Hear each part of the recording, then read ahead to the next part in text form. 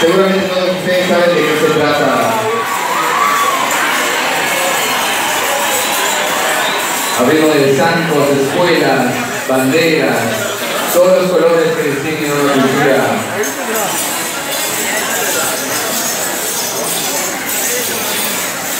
A continuación con ustedes, la fraternidad Julia y la Merced.